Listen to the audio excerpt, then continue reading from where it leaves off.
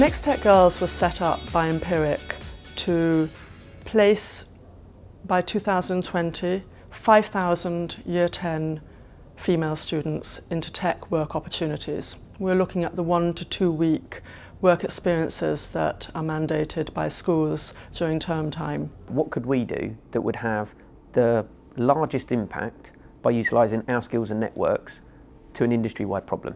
We don't want to be another agency that's just talking about diversity. We want to be an agency that's delivering diversity.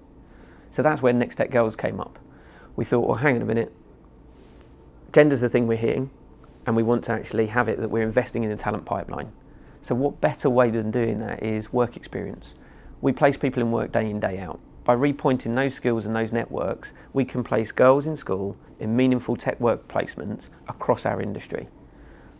Whilst that's inspiring the girls to have it that they can go out there and see what technology is about at a critical age, and then have it that whilst we don't believe that every girl is going to become a woman in tech, if we do enough great experiences, there'll be some of these girls that do choose to go and pursue a future in tech that wouldn't have done. Um, and it's proving successful. We're, we're, it's, it's really engaging with the girls. The feedback there is working really well. Um, but again, it's engaging us with our clients and our candidates. You know, since launching the initiative, we've received more female CVs than we've ever have. And that positions us then as an agency to deliver more gender balanced CVs to our clients. And in doing so, genuinely, not just talking about it, we are. We're investing in the talent of tomorrow whilst we're able to deliver the talent of today. That's a powerful message to be actually say when you think we've placed over 400 school schoolgirls in tech work experience.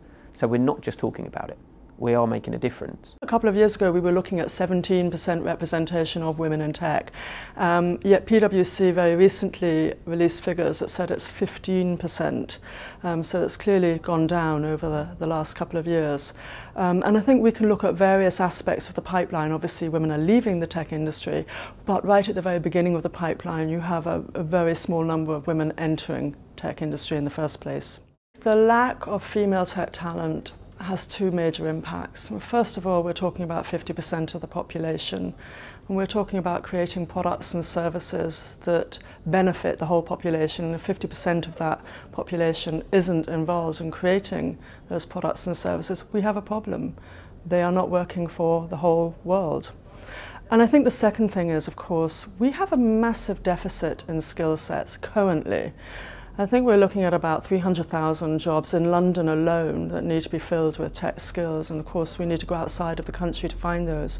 But by 2023, in London again alone, they're looking at trying to have 1 million um, tech-oriented uh, skill sets filled and there's just not the number of people coming through. So we need women. We need women for the diversity angle of the products that we produce and we need women for the skill sets.